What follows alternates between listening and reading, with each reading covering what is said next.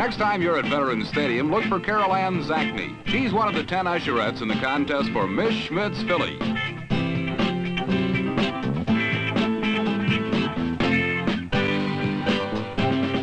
Carol comes from the Olney section of Philadelphia and reminds all her friends there that the contest closes July 13th. Get a ballot at the stadium or wherever you buy Schmidt's beer.